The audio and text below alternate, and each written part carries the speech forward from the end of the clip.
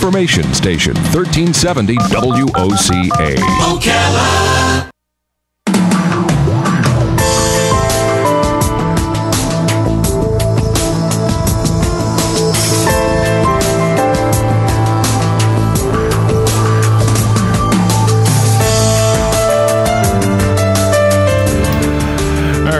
24 minutes before 10 o'clock. Thank you for tuning into the Source WOCA. I love when we have something fun to talk about, and uh, we have something fun, and plus a, a guy with an, an amazing um, bit of information regarding his songwriting credentials. And as you know, I, I love songwriting as well. When when uh, my son was younger, little little guy, one of the things that I will always fondly remember, and man, I sure hope he remembers this too. I'm, I'm pretty sure he does. I sent him a, I sent my son a picture one time of the cover of a children's book that I read to him a thousand million times when he was little. The book that I read to my son was, uh, oh uh, my goodness, uh, how Spider saved, how something.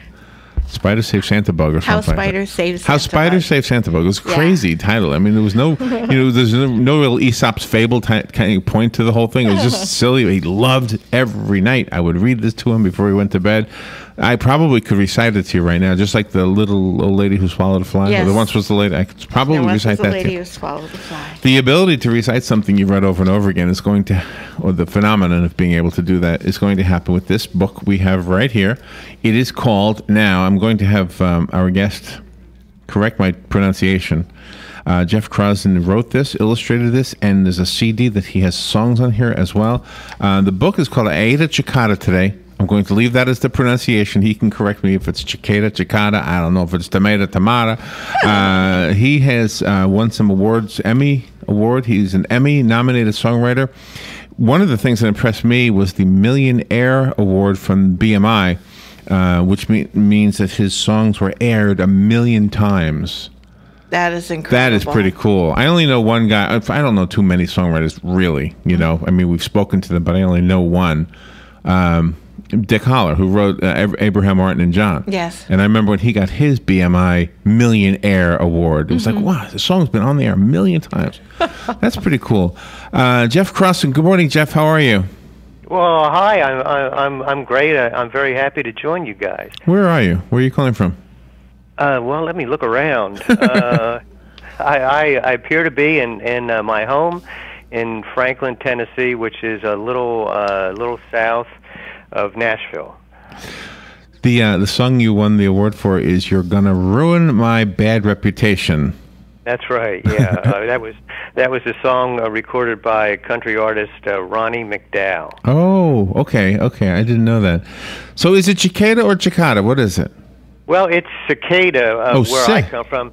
Yeah, cicada. Uh, there are different pronunciations, I guess, in different parts of the of the country and, and maybe the world. But uh, I grew up uh, referring to them as cicadas, and, and it makes for a good rhyme. I ate a cicada. So you're gonna have parents loving you and hating you for this because every night they want to read this book, or they're gonna say, "Oh, every night they wanted to read this book." So they're gonna love you or hate hate you for it. But anyway, anyway you, you definitely, if if writing something that is catchy is the key to success, you've definitely done it with this. Oh, thank you, thank you.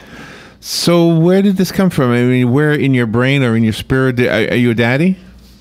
Uh, yes, but it, it, it's an interesting story. It actually, it literally came out of the blue. I, I had my, my two children with me uh, years ago here in Nashville uh, when there was a cicada swarm. We were on our way through a restaurant parking lot into a restaurant. And suddenly, out of the blue, this cicada uh, flew down and smacked me in the mouth. And I just said uh, to them, "Whoa! I, I almost ate a cicada."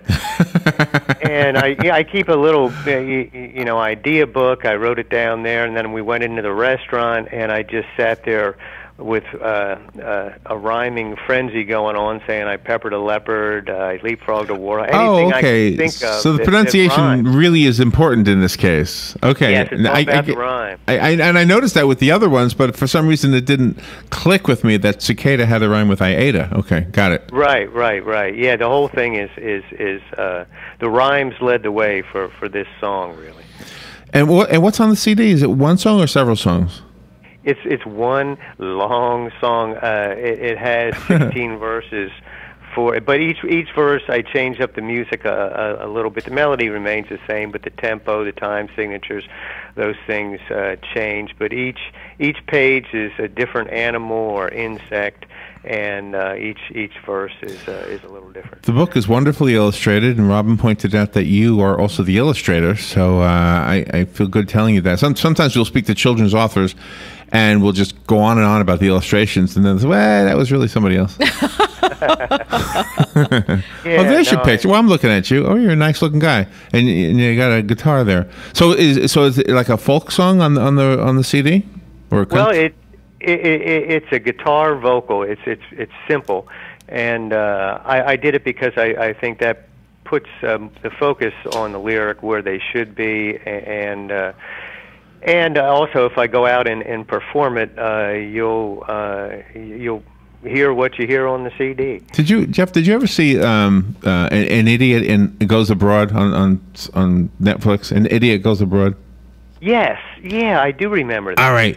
There's an episode where he goes somewhere, China or something, and he's everywhere he goes in this market, people are eating bugs.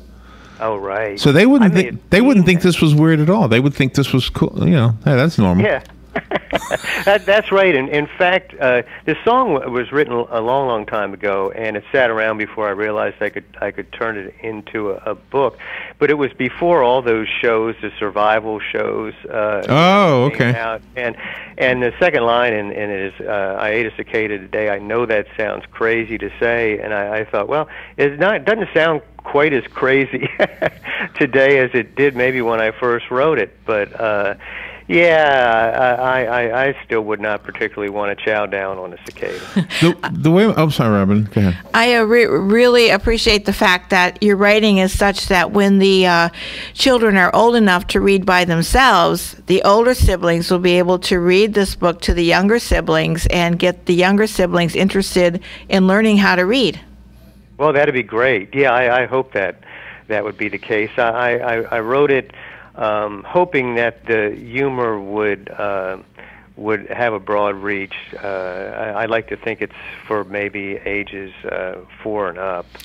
You, you know, this morning we did a little piece. We listened to some audio of a mom, uh, like an 87 year old mother with her 40 something year old daughter, and she's the older woman has Alzheimer's. And the bottom line is, it was just beautiful, and love was filled with it. And I said, you know, Robin, this is this is why God keeps us all alive.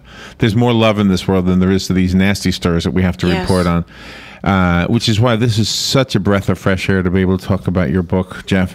Um, Oh, I ate a cicada today. This is a beautifully illustrated, com- comes with the CD, um, written and illustrated by our guest, Jeff Crossan. I'm, I wish we had more ch- time to chat, but I need to give this one away. Somebody out there is going to be very happy to get it. Some child out there is going to be very That's happy to hear it over and over and over and over and over again. uh, so call me right now and you can have the copy that Jeff sent us. However, the rest of us can go buy it, myself included. Jeff, how do we do that? Do you have a website? Yes, uh, I ate a cicada today.com, and and it's it's available uh, Barnes and Noble, Amazon, uh, hopefully, and in bookstores everywhere. I have a national uh, distribution uh, outfit, APG, uh, and, and they're hard at work. All right, excellent. Let me get this one right. Good morning. You've got the book. Who's this? Hey, that's fantastic. And, and what's your first name? Andrew, Andrew. Do you know where we are? uh, you used to be at the um, Well, we're in the, at the falls that we're in the Paddock Mall now, right? Be- right before the uh, the food court. Okay, Oh, sure, I know where it is. outside the doors. Don't don't stay inside the mall. Come outside.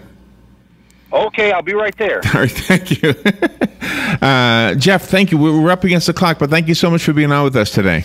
Appreciate it, Larry. Had a great time. All right, we'll be right back. It'll be partly sunny today with a shower and thunderstorm around, high 86 to 90. Partly cloudy tonight. There can be a shower along the coast, low 71 to 75. Tomorrow, times of clouds and sun with that shower or thunderstorm in the area at any time, high 88 to 92.